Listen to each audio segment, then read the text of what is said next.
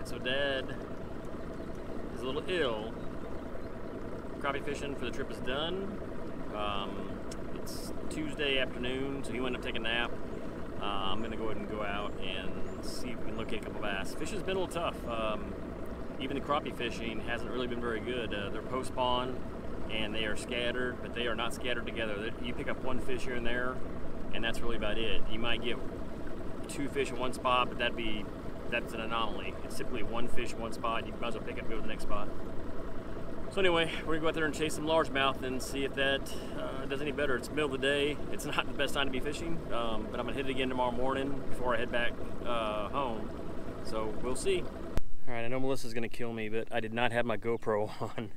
I'm having some problems with it. Keeps saying it's too hot. So anyway, just got this one off camera. So I'm gonna go ahead and do the weigh. See what she weighed.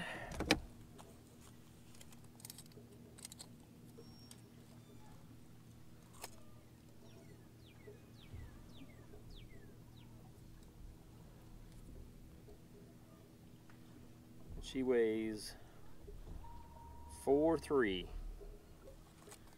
You can see her tail's all bloodied, so she's spawned out.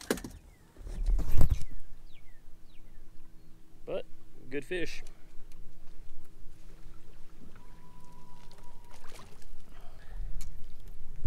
There she goes.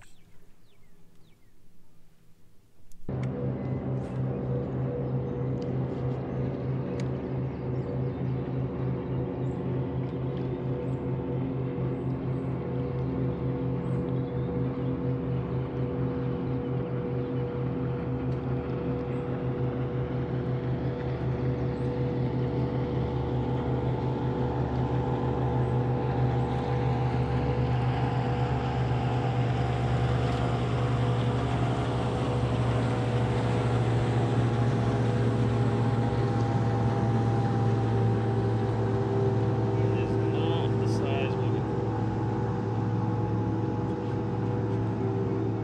baby bass.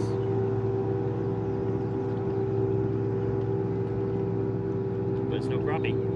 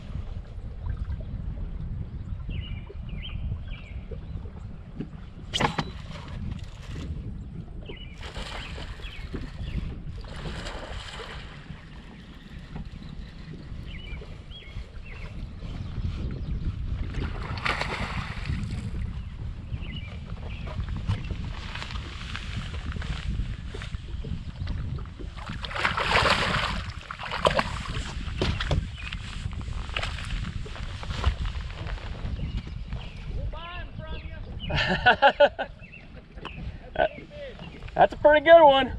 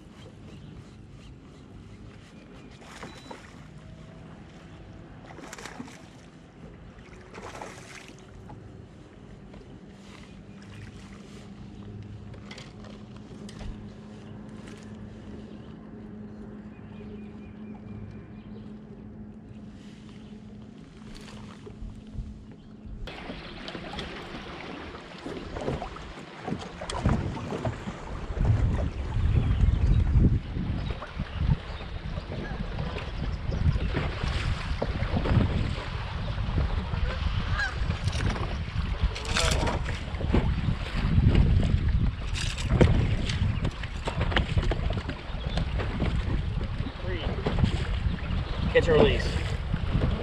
Okay, the Kentucky Lake trip has come to an end. So fishing kind of sucked. Can't say anything better than that. Uh, crappie, you know, our first day, we literally fished half a day and caught one crappie. Um, next day was certainly a little better. Um, I bass fished a little bit before Dad got here, and uh, catch a six pounder there. Caught a four pounder yesterday after he had uh, quit for the day. But overall, fishing was just kind of scattered. Uh, the, the fish are post spawn for sure. Bass are, are scattered. The crop. The interesting thing about crappie, we were catching crappie, but we would get one in a spot and then wouldn't catch another one. Go to another spot, would catch one.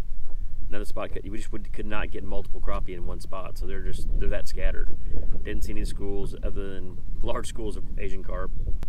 The trip was a success though because Dad did not fall in the water this trip, so that's a good thing. Um,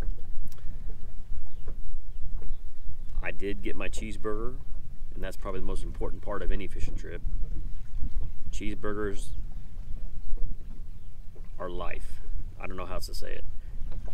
You have to you have to live for something. I live for cheeseburgers. Uh, for bass, um, caught the big one on a swim bait. Uh, caught the four pounder on a shaky head, and the rest were just kind of scattered between shaky head and swim baits. Um, so no, no real pattern with anything there. Um, certainly wouldn't have traded it for the world. Uh, you got to spend time with your family because you never know when the last opportunity is. So we were blessed with good weather. Um, company was good, um, and we slept like a rock. Obviously, when you're fishing all day long. But anyway, um, that's basically the recap of this trip. Uh, again, fishing wasn't great, but uh, I still wouldn't have traded for the world.